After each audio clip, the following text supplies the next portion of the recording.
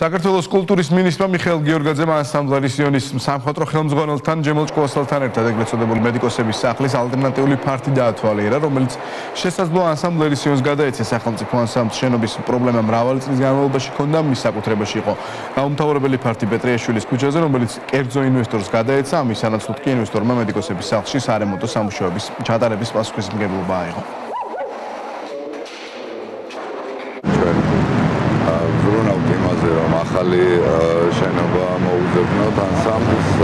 ეს არის ერთ-ერთი ის ალტერნატივა, რომელიც ახლა განხილება. სადია რომ შეგნით ეს ჯერ მოუწესრიგებელია, თუმცა ანსამბლის ხელმძღვანელებთან ერთად ჩვენ მოვედით გასათვალიერებლად ამ შენობის თუ რამდენად ზოგადად სტრუქტურულად შეიძლება მათ გამოადგეთ ჩვენ მაშინ ვიზრუნებთ უკვე შიდა ასე ვთქვათ ციფრების მოწესრიგებაზე. იმედობა მთავრობასთან ძალიან ძალიან მომეწონა.